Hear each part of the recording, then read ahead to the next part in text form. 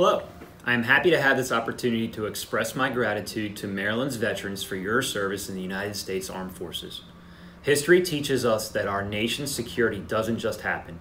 It demands effort, sacrifice, courage, and commitment as evidenced by the generations of men and women who have underwritten our freedom by duty and honor. This Veterans Day, we pause to recognize Maryland's veterans for your selfless service and to thank you for securing the liberties we often take for granted. As an Army veteran, I am extremely grateful to have this opportunity to serve as the acting director of the VA Maryland healthcare system in leading the charge to make sure that our veteran patients receive safe, quality, and compassionate care each and every day. I thank you for allowing us to serve your healthcare needs, and I wish each of you a very happy Veterans Day. It is now my honor and privilege to welcome several of our elected officials and veteran advocates to show their appreciation for your service this Veterans Day. Thank you.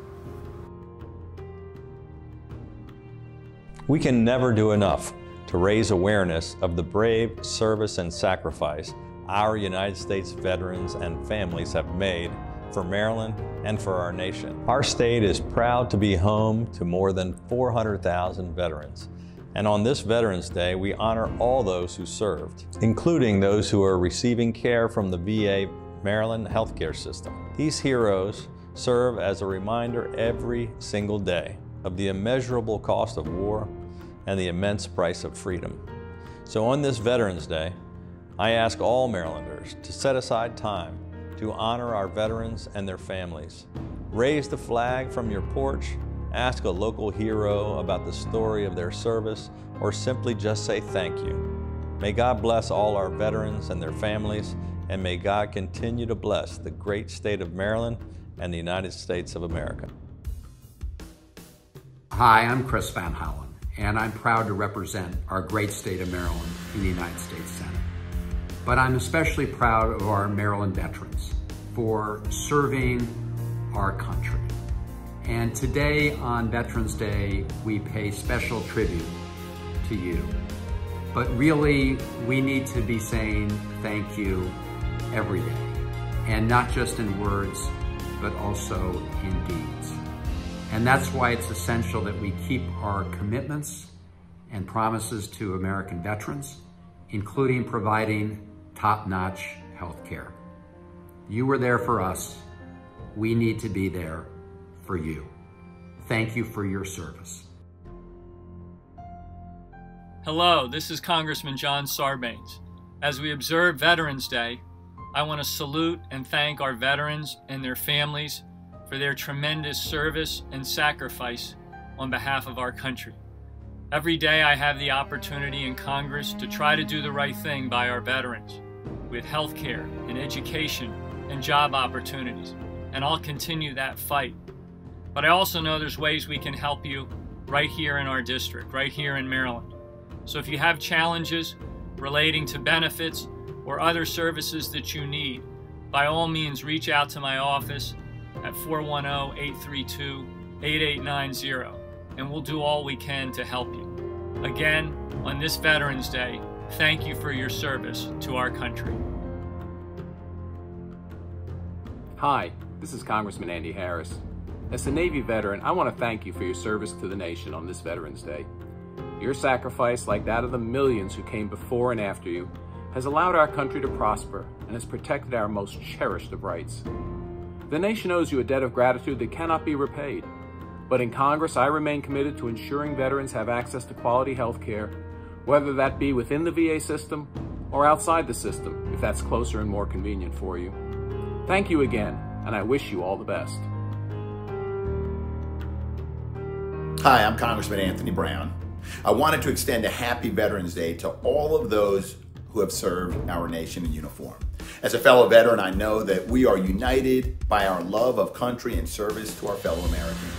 Whether on the shores of Normandy, in Korea, Vietnam, or today in Iraq and Afghanistan, our common creed continues to bind us together. This country makes a sacred promise to our veterans. When men and women put on the uniform and take the oath to protect and defend our country, we pledge to you to take care of you and your families when you come home.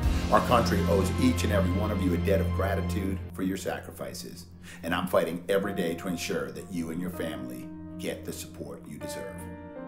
From one veteran to another, happy Veterans Day. Hi, it's Maryland Congressman Jamie Raskin from the 8th District, just here to send my love and appreciation and gratitude to all of the veterans in Maryland, especially the ones that are hospitalized or are receiving their care from the VA Maryland healthcare system. Uh, those in Baltimore, at Loch Raven, and at the Perry Point VA Medical Center. Um, I want to just express profound appreciation and gratitude to you for your service to America, for your selfless uh, devotion to our country, to our Constitution, to the rule of law, to democracy. You exemplify what honor means, you exemplify what decency means, you exemplify what service means. So thank you. And uh, I, on behalf of my constituents, I want to send you uh, a very big thank you for Veterans Day. Congressman Kweisi Mfume here to say Happy Veterans Day to the brave men and women of the military, covering all branches of the United States Armed Forces. You are the embodiment of everything that makes this country great. You courageously accepted the call to service, and you accepted all the risks that were associated with it, so that your fellow countrymen and women would not have to. It is my great honor to pay tribute to everyone who has served and continues to serve until today. It is also my honor to give a special salute to our warriors who are currently hospitalized and receiving special care from the VA Maryland healthcare system. You are indeed in good hands. We are grateful for all of you who have done so much to protect our democracy from the threat of tyranny and terror. And because of you, Marylanders and citizens throughout the United States can sleep and do sleep peacefully at night, knowing that you have sacrificed so much. And so we celebrate you, and we will continue to honor your service and your sacrifice today and every day. May God bless and sustain all of you, and thank you so very, very much. Veterans Day appropriately honors the service and sacrifice made by you and your fellow service members. In October 1954, President Dwight Eisenhower signed Veterans Day proclamations, changing Armistice Day to Veterans Day to ensure widespread observance of the anniversary for all veterans. Today, I'd like to extend my recognition and gratitude to all veterans and locally to veterans receiving care at the Baltimore, Perry Point, and Loch Raven VA Medical Centers. We're honored to serve you. Happy Veterans Day. Welcome to Veterans Day 2020. Unlike any of us have ever seen before, but it still brings with it the full debt of gratitude for those who have ever put on a uniform and served this country, and to the families who allow those loved ones to go serve. I want to thank you for the service you provided, and in many cases continue to provide. Thank you again, and remember, this year, mask up when you go out.